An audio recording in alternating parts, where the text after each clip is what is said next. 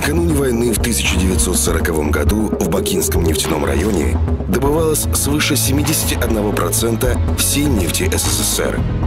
В Грозненском и Майкопском свыше 24%. Захват основных источников нефти мог оставить Красную армию без топлива.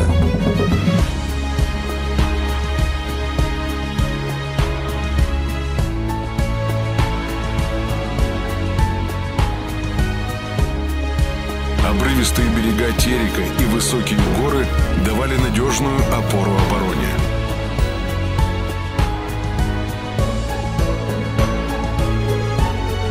Поход за нефтью закончился полным.